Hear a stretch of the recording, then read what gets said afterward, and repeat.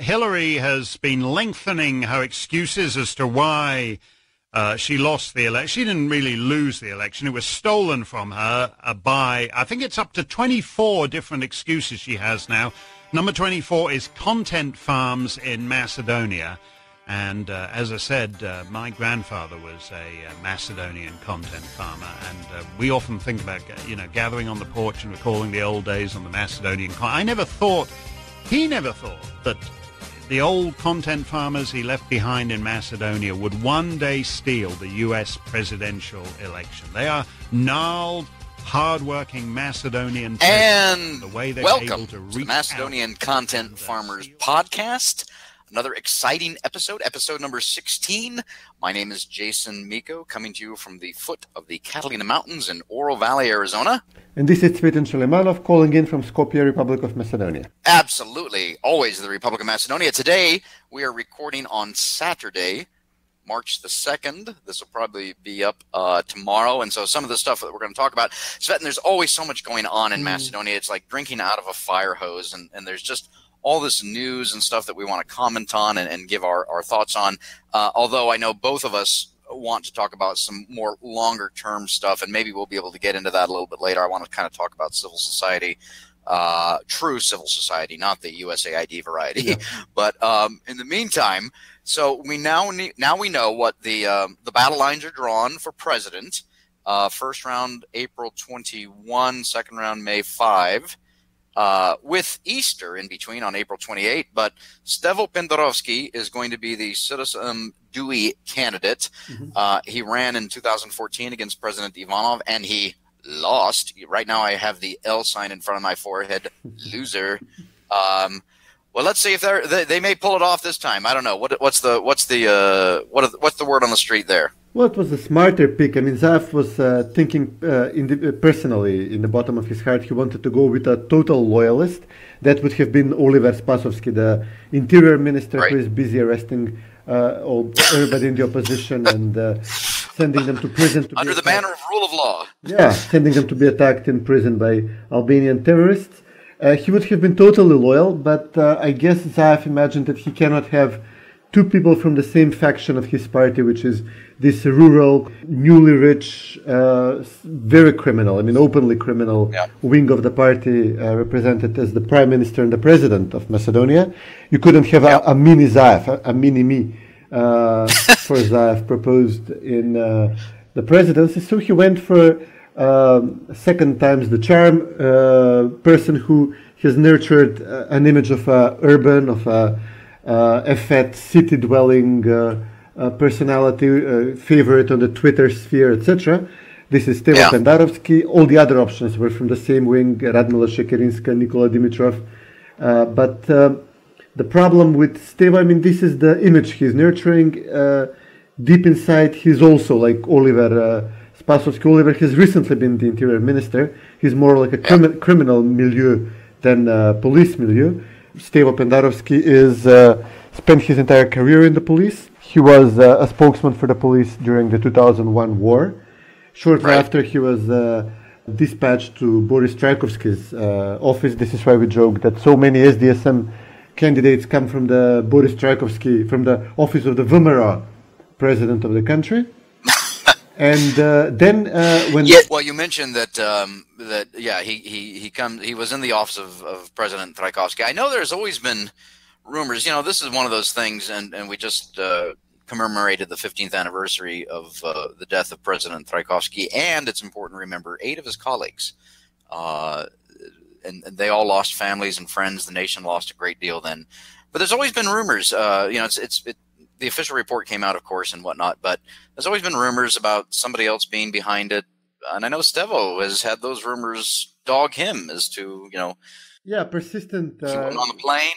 Co- Yeah, comment about him was that well, he's the one who did not catch the the plane ride, implying that uh, you know he was tipped off or too valuable to be sent out.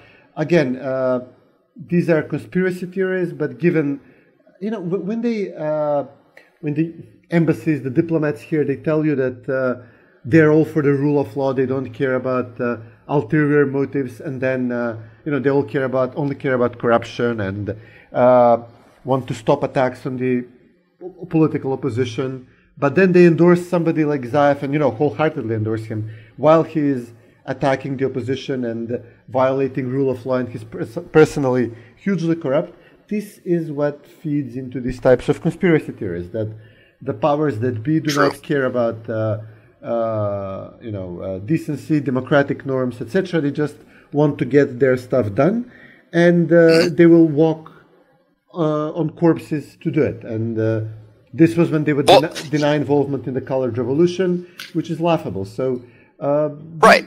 This, This is what we've been saying for months. For we've, we've both been saying and writing for months, and others have been saying it and writing it as well. Is that the whole Prespa agreement? To, to bring it back to that, uh, it was a, a an exercise in trampling over democracy, trampling over the institutions of democracy, trampling over the reputations of the very institutions that the West wants Macedonia to join, the EU and NATO, uh, as well as the reputation of the U.S.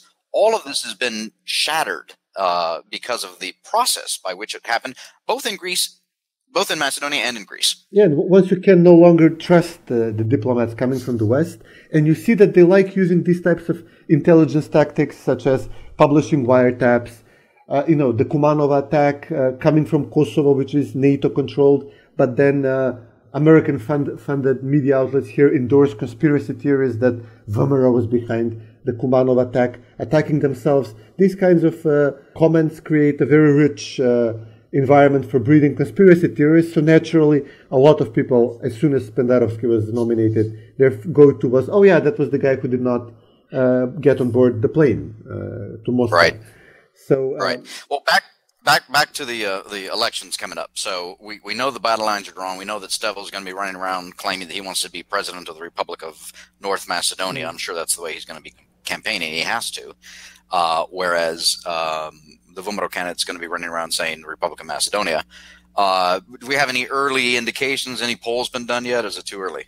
Uh, it's too early for polling. Uh, generally, you know, it's understa- understandable that Macedonians are breaking in favor of VMRO by significant margins now, while uh, uh, SDSM is counting on the urban vote. This is why they went with Stevo Pendarovski, this post-national Macedonian uh, secular uh, urban vote, and uh, they want to top the numbers up with Albanians. This is why they insisted on having DUI support Pendarovski, even though uh, they, they just had a major fight in parliament with DUI accusing each other of crime and corruption and uh, ul- ulterior motives uh, when dealing with uh, the opposition, not arresting enough of the opposition was the big problem between SDSM and DUI. Yeah, which is true, and and I, I watched I watched the announcement actually that uh, Zaev uh, had with all of his people behind him when he announced uh, Stevo for uh, president. I saw I, I couldn't help but notice Ali Ahmeti standing next to him. He he looks he does not look well. He doesn't look well. He isn't well, of course, we know that. Um, but he, he he looks he looked like he's knocking on death's door almost. Yeah, it's been going on for 10 years, maybe. Yeah, yeah. Well, anyway, um, this will be the first election after the uh, the change, the the government's uh, forced change of the name. Uh, we'll see what happens. Now, the danger, of course, with with VMRO is that there's a certain faction, uh, not necessarily VMRO members, but a certain faction out there, the the ones that participated in, in the Boycotira movement back in September for the referendum, and they are still believing that they should boycott uh, make this a failure. Uh, then, of course, if that ha- if that were to happen, and I don't think they can do it, it's much easier to be against something than for something. Obviously, we know that. Uh, then, obviously, uh, Xhaferi would become president for six months while they organize new elections. Isn't that correct? Yeah, that's uh, how it works. I mean, some of these people are true uh, red-blooded patriots, uh, and some might have a different agenda. There's obviously a lot of influences breaking around the country, and uh, uh, a lot of uh, resources resources have been put into getting to some uh, of the people from the opposition side. And uh, you know, you can tell, like when Yanko Bachev comes out and waves the Russian flag in front of the parliament, it's clear, Ah, clearly working for uh, you know trying to pin it uh, on the opposition at, at large. So these type of people Right. are definitely being uh, uh, serving uh, the purpose of uh, the, the side which they're ostensibly attacking, whether they're being paid for, whether this is uh, uh, they're being blackmailed to do so. Th- th- just few of them, but they can get uh, a following because people are so angry and upset. The census, the turnout for, for the presidential elections has, has been lowered to 40%. The referendum was at uh, 36% turnout with the ballot stuffing. So um, mm-hmm. now that VMRO has announced that it's uh, having a candidate, it's not boycotting. It's very likely that the forty percent will be, uh, you know, will be met. So it, boycotting yeah. really, is not not an option now that VMRO made this decision. You can be angry at VMRO for making this decision, but the decision has been made, and, boycotting now can just undermine VMRO. Right. No, I completely agree. And and this is a chance, just as the, so the referendum failed and the and boycottirum was successful, and it sent a message, and that was good. Even though that we know that the government aided and abetted by the international community in the West, when you know did an end run around it. Uh, but this is another opportunity. This will be the first election since the name change to send another message to the government of Macedonia, to the West, saying we are not happy. This is not going to work, and we are supporting the the candidate uh, from the party that wants to keep Macedonia's name. Um, mm-hmm. So, you know, I understand the boycottirum guys and gals, and but you know, kind of like in 2008, I had to hold my nose and vote for John McCain for president over Barack Obama. Uh, you know, so I think that's the only way to go about it. So, okay, enough on the presidential elections. Um, I see Matt Nimetz uh, resurfaced. I thought he was. Um, I thought he was retired or gone, but he keeps commenting on this, and he has some comments about the about the Prespa uh, agreement. I guess uh, in the context of the UN, uh, somebody asked him something, and obviously he, he he praised it. He says it was successful and whatnot, but mm. then he started listing all of these challenges and problems with it. Uh, the one that always gets me is I think he, he talked about quote unquote concerns over irredentism and the demonization of each other, which of course is part of the Prespa agreement. How do you how do you police that? Uh, you know, when somebody on Facebook or Twitter says that the, the, Greeks are X, Y, or Z, or somebody in Greece says the Macedonians are X, Y, and Z, uh, you know, what are you gonna? Yeah, this, that gets in the whole issue of so-called "quote unquote" hate speech. There is no such thing as hate speech. Uh, what else did he have to say? Yeah, he's probably uh, stopped me from posting that uh, the Wire clip when they're talking about the Greeks, how they invented everything, and. Uh, can cover on that. Still, my guess is the drug players. Even if they roll, give us Aton and Sergei. The case gets thin when we get up to this. Uh, Spiros Vondopoulos. Well, them Greeks and those twisted ass names. Man, lay off the Greeks. They invented civilization. Yeah, ass fucking too. what exactly do we know about Vondopoulos? Oh, okay, but but but uh, going back to Nimetz here, um, you know, he uh, what else did he talk about? Yeah, there was a big one. Uh, he actually uh, revealed the, the, one thing, the important thing, which has not been resolved. It's not the adjectives alone; it's the nationality in general. Uh, thanks to Nimetz and thanks to the BBC, we have discovered now that uh, they they do not have an agreement on the nationality, and Nimetz acknowledged this. He said uh, uh the Greeks, uh, the Greek people do not like to call the folks in North Macedonia Macedonians, and Zaev insisted domestically that he won the, this fight. That Greeks have agreed not only to call the language Macedonian, but that we are Macedonians as a nation. Bulgarians obviously uh, reject this. On the Greek side, right. it was muted. And uh, we have the MFA, uh, Macedonian MFA uh, guidelines, which say that you, you're only supposed to say Macedonian uh, when referring to the nationality. But now Nimetz tells us, well, it's not been resolved. And, uh, and uh, we saw that with the way the Greeks are pushing the BBC to correct, correct their report. we pressed, you know, Macedonians here, we pressed the MFA the Macedonian MFA to do the same, and they said they would send the guidelines to the BBC, telling them that the otherwise good report they should uh, edit out Macedonian Slavs and just say Macedonians. But uh, we see that our side is not pushing on this. The Greek side is pushing very strongly on this, and we're going to have a fight on the national nation, on the nation national identity. Of course. Well, actually, and you mentioned the BBC report, and before we started recording this, um, I noticed uh, an article in uh, the Greek uh, daily Kathimerini saying uh, BBC updates controversial story following Greek uproar. Mm. We knew this was going to happen. Uh, and it says after a public outcry over a BBC story referring to a Macedonian minority in Greece and a Macedonian language, the British broadcaster added a section to the report on Saturday outlining Greece's position. I haven't seen the new updated BBC article, but uh, according to the Kathimerini article, it says it went on to add that the Prespa agreement says that the nationality of the people of North Macedonia is quote Macedonian slash citizen of the Republic of North Yeah. Macedonia, unquote, and makes no presumption about the existence of a Macedonian ethnicity.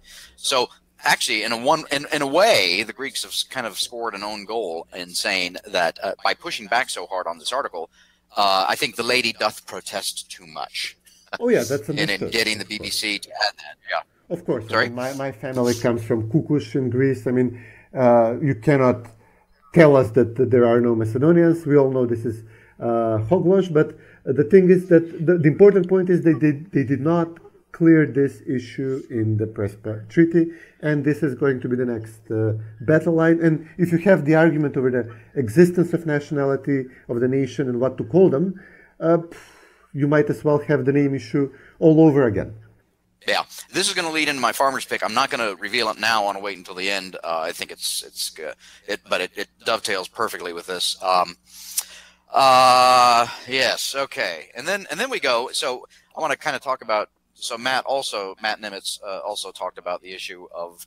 Uh, I'm going to call them not Star Wars, but name wars on uh, commercial uh, issues, products, things like that. I've seen several articles come out this week in mainstream uh, wire services, AFP, et cetera, talking about how by the end of this calendar year, 2019, both governments are going to have to establish more commissions to discuss uh, trade names and things of that nature. And then the businesses are going to have three years to work it out as to what you call a, a beautiful, um, bold, robust, in your face Vranets from Tikvesh. Uh, is it a product of Macedonia? Is it a uh, Macedonian product? Is it a product of North Macedonia, etc.? Uh, and, and opposed to, I don't, I can't tell you any Greek wines off the top of my head. I don't drink the stuff. Uh, but you know, they're they're they're the they're actually the Hellenic Republic, of course. Uh, whereas the the everyday uh, use of the name is Greece. Uh, The, the problem is they have two names and none of them is Macedonia, Hellenic and Greek, but no Macedonians. That's true. Yeah. So, anyway, we've talked about this before. We're going to talk about it again. This is going to be an, an issue. Uh, and Matt touched on it, and he realizes it. And I think, I think deep down in his heart, Matt knows that this agreement is full of problems, and Yeah. these are just going to keep coming up. And uh, and you know, he's not going to be there to deal with them. Yeah, it's they used a bit of rope and uh, some chewing gum to glue it all together. But this is, uh, I'm now becoming more and more certain that this is going to come unstuck.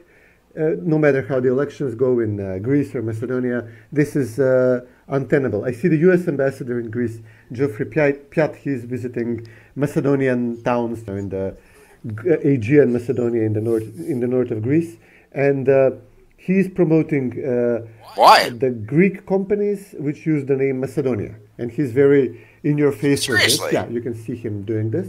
On the other hand, we're currently Wow. regaining a small fraction of our independence. We do not have a U.S. ambassador uh, at this point. Uh, Hooray! Baily left the country finally after doing all the damage he possibly could imagine doing. And uh, I don't see, you know, there, there is no attempt to sell this deal to Macedonians as successful or, uh, you know, something that we gain from. Uh, nobody's selling this to, to us. But we see that in Greece, the U.S. ambassador is trying very hard to sell it to the Greeks. Well, yes, and this is going to continue to go on. I find it interesting, kind of as a side note, that all of the reporting coming out uh, about this whole issue, the reporters, no matter what outlet, are always talking to the government officials of Greece and Macedonia. They don't even bother going outside of the capital cities and talking to the Greeks and the Macedonians about how they feel about this. I mean, um, who was it? Damon Wilson from the Atlantic Council was was commenting on the, the, the Delphi forum where Nikola Dimitrov was the other day and others, and you know, again talking about how Prespa is a success and it's going to you know create uh, peace everlasting, light eternal, and unicorn farts, and uh, and and you know he's. When was the last time Damon actually went to to Bitola, Bitola or Pervo, uh, you know, and talked to Macedonians? Never is the answer, by the way. At one point, he said that he will have to get some, I think he used this term, have to get some opponents of the deal uh, to Washington to discuss this issue. I, he was thinking Meto, I suppose, or somebody like that. And he never did. I, to, the, my, to the best of my knowledge, the last time Nikola Dimitrov was with uh, uh, Damon in uh, the Atlantic Council before some, I think, before signing the NATO accession protocol. NATO was there, and he was not allowed to even ask to, to ask questions, even watered down questions. So it was a complete joke. Yeah. And I see Radmila, Radmila Shekerinska is going to be at the German Marshall Fund this week in Washington as well. And believe it or not, this really kind of chaps my hide. It's rumored. So here in Arizona at Arizona State University in Tempe, those are the bad guys. I went to the University of Arizona, but we won't go there. Anyway, up at Arizona State University, they have the Mary Chonkoff lecture every year. Mary Mary mm-hmm. Chonkoff was a Macedonian, a librarian for many many years at Arizona State University, and she passed away twenty some odd years ago. But she left a small endowment, and they do a lecture every typically every spring, and it focuses on Macedonia or the region. And uh, I just got the newsletter from them the other day, and they said that that she is Radmila is supposed to be giving that lecture sometime this spring. Um, so that'll be uh, I'll, I'll I will alert our listeners when that uh, date is uh, scheduled. Yeah. But again, it goes to the point of you know they are not they are not they're not, they the internationals and the think tanks and the academia and the uh, media outlets etc are not giving any uh, time or, or, or, or looking at the Macedonians out you know outside of the government to see what they have to say about this whole thing. Yeah, that's true. It's totally one sided, That's of course, true. Okay, we can take a short break here. Maybe with some some beautiful Macedonian music in the interlude. and time to refresh. Tvojte oči leno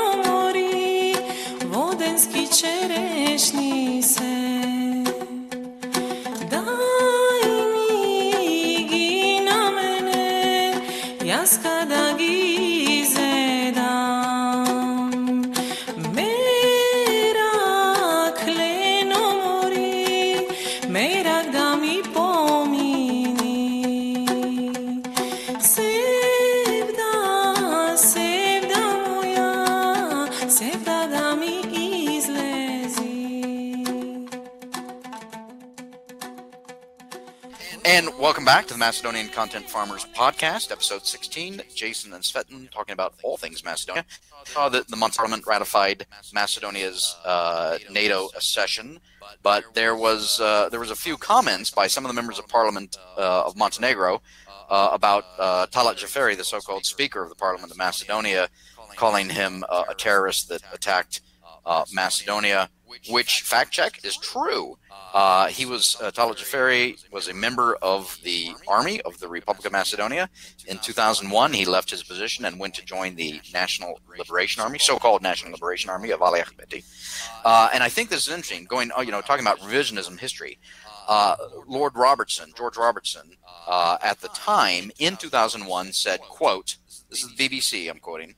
The rebels are a bunch of murderous thugs whose objective is to destroy a democratic Macedonia, unquote. And that was a correct statement back then. But just last month, two weeks ago in February, in Scottish Review, Robertson said this quote, Albanian dissidents had attacked police officers and Macedonian forces had overreacted, unquote. There is an ocean of difference between those two quotes 15 years apart. And that just goes to show you the the what the internationals will do to change the story, to move the goalposts, everything in service of pushing their agenda on Macedonia. Yeah, And this is going to go on. This is going to continue to go on. Uh, I, I'm glad I saw that quote, the recent one from um, from Robertson, because what I'm doing, you know, I wrote this biography of Boris Trajkovski in 2004. I've been updating it ever since. Uh, I'm definitely going to include that recent quote from Robertson and compare it to his original quote from May of 2001. Uh, and I'm going to update the whole thing, 80, 82, 83,000 words. I'm going to update the whole thing to include current events uh, because I think it's an important. It's important to set the record straight about what happened then and what has happened since and what is happening now. Uh, and hopefully we'll get that published at the end of the year. But anyway, Yes. I think uh, the our, our, our the Montenegrins did us a, f- a favor by, by reminding us, you know, of Talat Xhaferi's past. yeah. When you say dissidents, you think Václav Havel or Dragan Bogdanovski. You don't think thugs like Ahmeti and Xhaferi. That's a good point. Yeah. No, these were not dissidents. These were terrorists. These were murderous thugs, according to George Robertson. God. And uh, Montenegrins, they didn't even get to vote on their NATO accession, which is wh- why I believe they're uh, pretty sour on the situation. But they were asked by NATO to display sufficient levels of support for NATO membership. This was one of their criteria. Uh, and this criteria was oddly dropped for Macedonia. In the case of Montenegro, because obviously NATO bombed Montenegro, which was still part of Yugoslavia in 99, and uh, they have significant Serbian minority, which is not very happy with uh, being bombed uh, back then. They were oppo- they're opposed to NATO membership. Yep. They could hardly get to 40% on uh, NATO membership, so they didn't get a referendum. In the case of Macedonia, we held a referendum, uh, including you know NATO membership, uh, EU membership, and changing the name as a package, and we got barely 46% with all the ballot stuffing.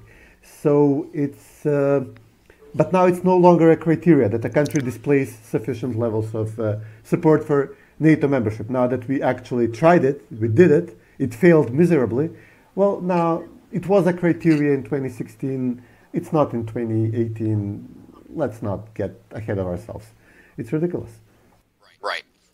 Yeah, and that's a nice segue into uh, the so-called Prime Minister of Macedonia, Zoran Zaev, who is running around now saying, because of NATO membership, Macedonia is going to become wealthy, and all of these firms are investing, have invested, are investing, will invest. All this FDI, foreign direct investment. I think he threw out a number of 850 trillion, quad, quadrillion, bazillion dollars, euros, or something like that. Um, is that real? Uh, let's be fair to him. I think he said 750 million euros. He said 600 and something million for last year. Oh, It's very hard to take this at face value because in the best years of the low taxation regime, we had like 300 million was a good number.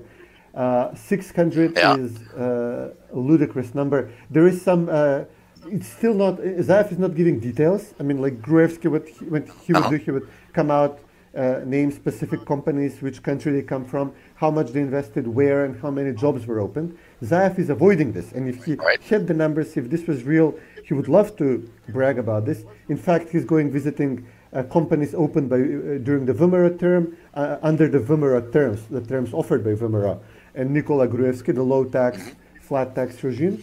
Um, and there, there are some expectations that he's taking a number of uh, tax receipts after he hiked taxes, and he's using this to uh, beef up, uh, to, to say, well, listen, we're, uh, we're measuring now foreign investments by the taxation hole from the investors.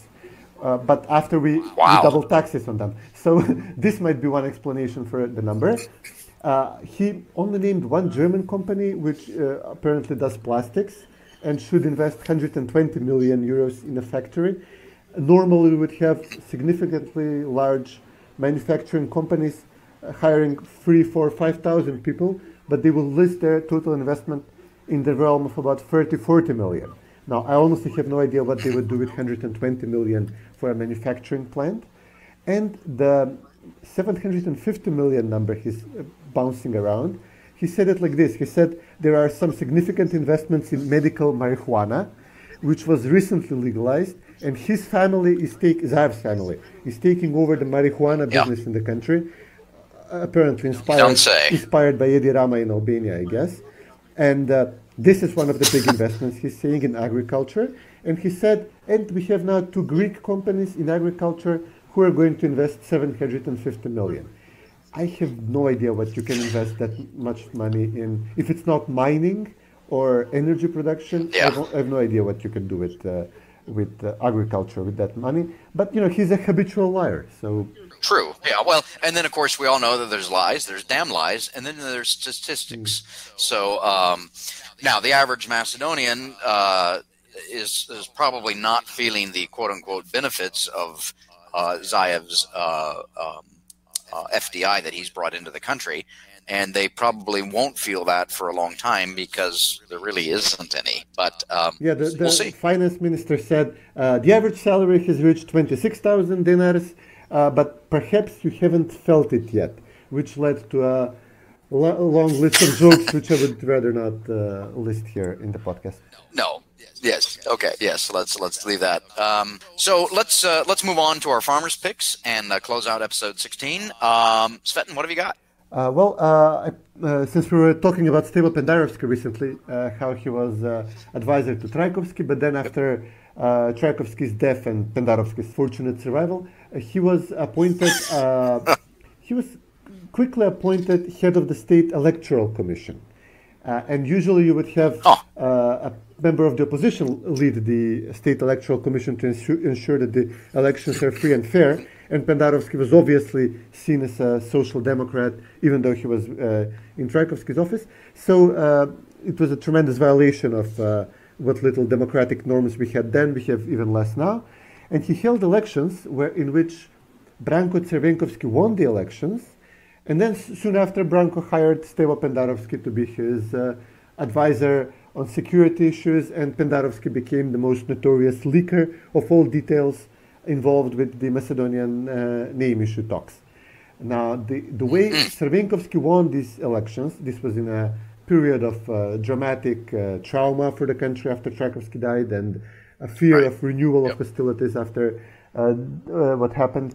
So uh, they, they would push very strongly from the social democratic side in the media that this needs to be done, finished as soon as possible, no, no boycott.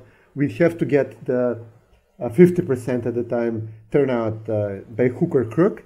And Pendarovski did it by crook, apparently, because I, I posted on, Yep. on uh, my Twitter feed uh, the map, the, the turnout map from these elections. And you can see that uh, the Macedonian east of the country, the central part of the country, has extremely low turnout. And where there is, uh, and the turnout, such as it is, is balanced between Crvenkovski and the VMRO candidate, Sashko Kedev at the time. But then you look at the Albanian districts of the country, Right. and the numbers spike up uh, overall. You get to 90%, 98% turnout. In villages which are depopulated, people live in Switzerland and in Germany and don't bother coming to Macedonia. So this is pure ballot stuffing. And then the percent, the proportion of the votes in the Albanian districts is like four or five to one in favor of Crvenkovski. So this is the type of elections Pendarovski presided over. And he had the goal when he was running in 2000, in 2014 to accuse VMRO of uh, rigging elections or influencing elections, whereas he was head of the state electoral commission during one of the worst elections we've ever had. And I'm going to post, uh, as my farmers pick, the OSCE report for the, from these elections, which has comments such as uh, uh, things like the counting process, so not minute things which SDSM would object about, like unfair representation in the media or stuff like that. This is the counting of the ballots. So if you have a problem Wow. with the counting of the ballots, the elections were not good, no good. You do not do elections good. Uh, so it says the counting process during the second round, which is the round that matters, was evaluated as bad or very bad in 21% of polling stations observed. This means a fifth of the votes were invalid. In 23% of polling stations observed, ballots were not shown to all election board members. So this means that the ruling, you know, the DUI people, they, they take the ballot, they say, oh, this is for Branko, and they don't show it to the uh, members of the electoral board from the other side. And they just Right. uh, count the number, and you have to trust them. You know, like, what, you, don't, tru- Yeah. you don't trust me? It says No, I don't. deliberate, deliberate falsification of results in 7%. Uh, in Wow. additional 7% of polling stations, observers were prevented from fully carrying out their work. And you have a result in which uh, Sashko Kedev wins 309,000 votes in the first round, and then he wins 329,000 votes in the second round, which is, you know, makes sense. And then Branko Crvenkovski wins 385,000 votes in the first round and 550,000 votes in the second round. You're the winner. And they got to, Wow. they, they beat the 50% turnout by just like one percentage or something like that. So it was a complete, you know, you, you have valid elections in which you need to have uh, 50% turnout to, to have the elections valid, and you have like 51% turnout, and then OSC, which is their friend essentially, tells them, oh, by the way, one fifth of the polling stations were, uh, you know, the counting was very bad, and, and the election Yeah. is decided by one percent. And you know, Wow. this is what we are dealing with. This is the type of person SDSM is running for president. This is what the, the Western parties, uh, Western countries are endorsing in Macedonia. Yeah. yeah. Wow. Well, two two comments on that. First of all, you mentioned Bronco, Bronco Stefankowski, and I, uh, you know, Shetai Bronco. Um, what is he doing these days? Is he surfaced? Is he uh, around? What's he going? What's going on with him? No, it keeps getting rumored, but I think the last time people saw him publicly was when we had this series of earthquakes in Skopje, and he was seen like uh, quickly dressed in some sweatpants, sitting in front of his building, waiting for it to collapse on his head and looking desolate. Wow. It was very Wow. What a sad figure. Sad, sad figure. Well, the second comment is, of course, and I, th- I think it's important to bring up that um, the electoral roll, uh, which everybody has been talking about, there hasn't been a census in Macedonia since 2002, 17 years ago. Uh, so, and I know that the, the Prime Minister said there's going to be a census next year. We will see. Uh, anyway, moving on. Uh, you you brought up uh, because of uh, we were talking about Stevo earlier. You you brought up this issue. We were also talking about uh, the BBC and uh, Nikola and the Delphi Forum, etc. Uh, with the re- with regard to Macedonians, uh, ethnic Macedonians living and residing for a long time in Greece.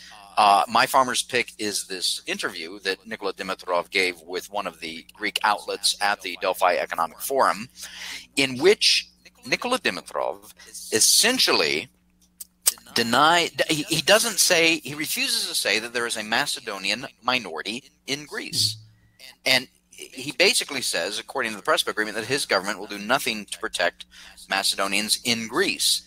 And the uh, the interviewer asks him, you know, if this issue comes up, uh, the, Ma- the Macedonian minority in Greece, if they say we need your help, etc., will your government do anything? And in typical politician speak, he goes completely around that and refuses to say, even to admit, that there is a Macedonian minority in Greece. Um, whether or not he believes that or not, I don't know. So, I mean, what this means to me is that what we need is is for the Macedonians and Macedonians around the world and their friends to help uh, nurture and protect and support the Macedonian minority in Greece. Uh, he also says, and maybe we can play the clip here. Uh, quote.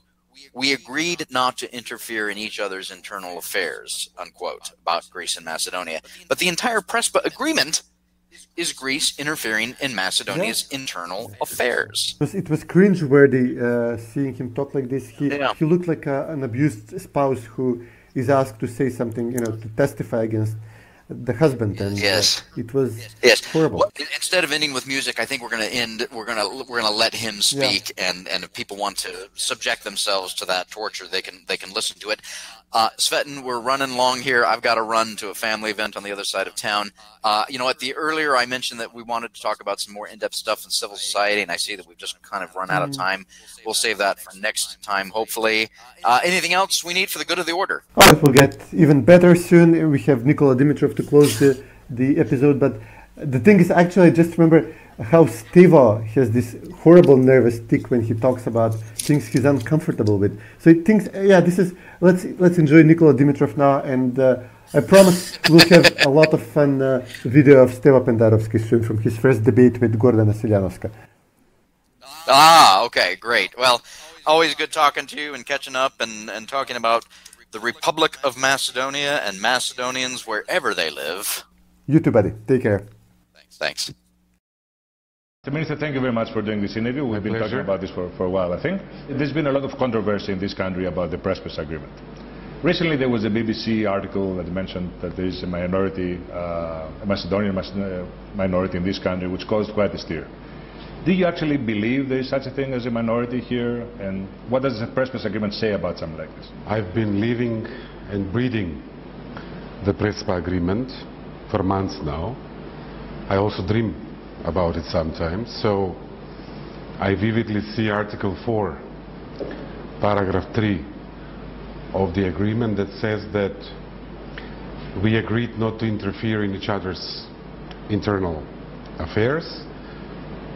The BBC article and the issues it raised, this is an issue for the Greek domestic political debate, uh, perhaps an issue of international obligations, but I don't think it's useful in terms of where we want to go, which is we have opened up a new page. We have unlocked a huge potential for friendship and cooperation. Uh, for us to be involved in that debate. This is this should be a great debate. Your government, your state, does it feel that there is a North Macedonian minority in this country and that it's obliged to protect it? We have uh, both uh, Athens and Skopje agreed that we will not interfere on these issues in our internal affairs. So we have to respect that. We have agreed it. And it's part of our constitution now. If a group claims that it's a minority here and they appeal to their national organization, you will not encourage them or support them or help them? We are very serious about this agreement. We have worked hard to achieve it. And we will do, and we, we, we are committed to continue to implement everything that we agreed upon. So, um, as I said, this is a, an issue for a debate here. We have a lot to do in, in other areas. Uh, I, yesterday there was a high official from the Greek Foreign Ministry to discuss about economic cooperation. There is an increasing number of Greek businesses coming to search for opportunities. Some investments even um, have been announced. We had the transport minister, uh, Nikos Papas, I think, for the first visit after the agreement entered into force. We discussed decreasing the roaming charges so that communication is more affordable. Cross-border cooperation, security cooperation. Uh, we have so much to do. When was it that you actually clinched the deal? I mean, do you remember the moment, the, where you were, and when you finally said, okay, we've made it? It was um, probably New York,